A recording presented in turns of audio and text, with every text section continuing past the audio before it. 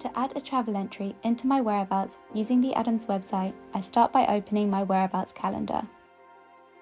I then select the date that I would like to start my travel entry from. On the address drop down, I scroll to the bottom and select travel. I then have to confirm that I am travelling for extended periods of time. I select my transportation type, which is air, and I enter my flight details.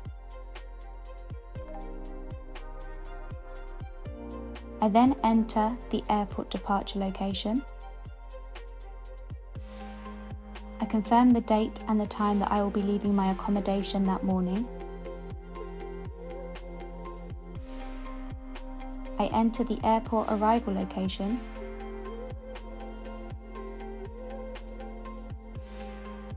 and I add the date and time that I will be arriving at my accommodation the following day. And I then click Save.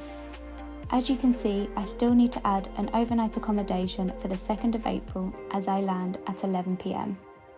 So I then select the date for the overnight accommodation, I select the address that I will be staying at, select the category overnight accommodation, and click Save. I have now successfully added my travel entry.